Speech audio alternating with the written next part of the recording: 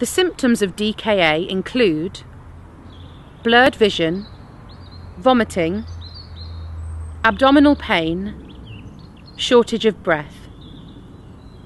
More severe symptoms include deep and rapid breathing, a smell on the breath similar to pear drops or nail varnish, confusion, loss of consciousness.